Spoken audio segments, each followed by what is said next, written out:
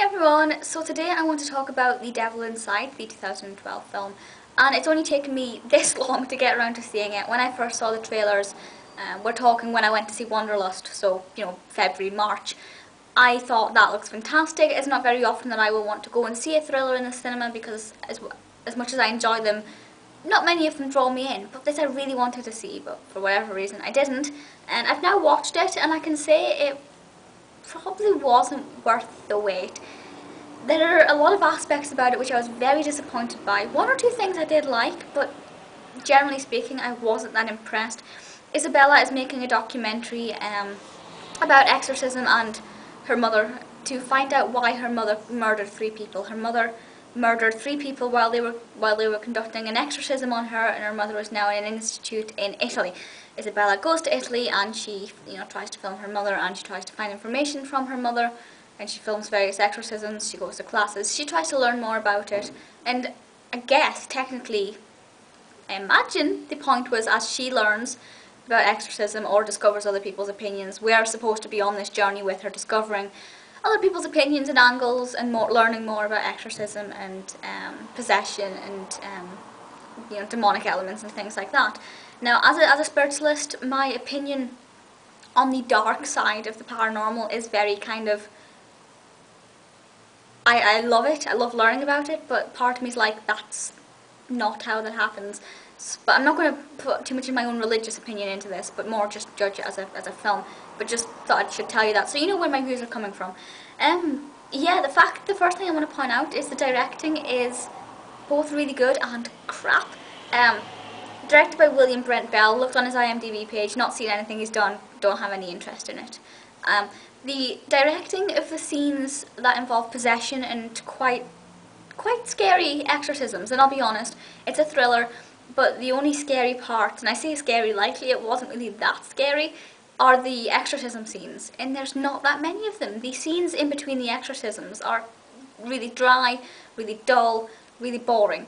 So yes, while you're watching one of the exorcisms or one of the possession parts, you are thinking, oh, this is a good film. Two seconds later, it's like, what? This is rubbish. So the directing during some of the more intense scenes is good. You know, the close-ups, the angles the cameras are at, they're very good. But for the most part, it's really uncomfortable to watch. A lot of it is filmed documentary style, you know, as if it is a handheld camera. Um, you know, kind of your shaky cam going on there. To give the feel of a documentary. And a lot of films do that, but they don't do it to the extent that this does. It's, it's overdone. Perhaps it was with the intention to reinforce that it is being filmed for a documentary, you know, to kind of reinforce the plot. But it's really uncomfortable to watch because it is, you know, really jaggedy movements, as you would expect. But it, because it's done for a very large portion of the film, it's uncomfortable, it just feels like they can't hold a camera. Um, so I think that was overdone a little bit too much. Maybe if they toned it down a little bit, it wouldn't have been so bad.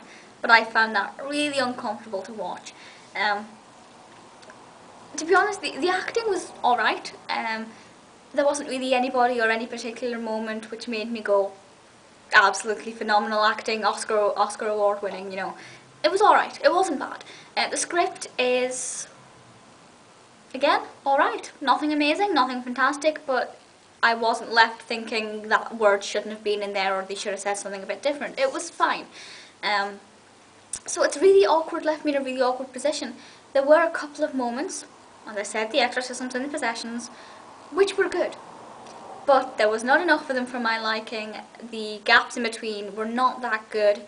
While it flowed coherently in the sense that I was never left really thinking, I have no idea how we got there, I was left thinking, have we really, really just wasted five minutes getting to this point?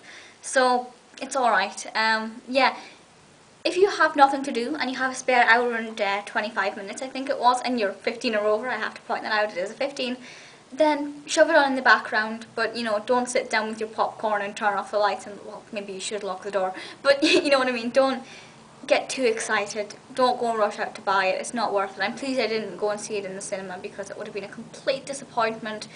However, having said that, maybe in the cinema I would have liked it a bit better because of the atmosphere. But really, I wasn't that scared. I don't think they portrayed it in the right way.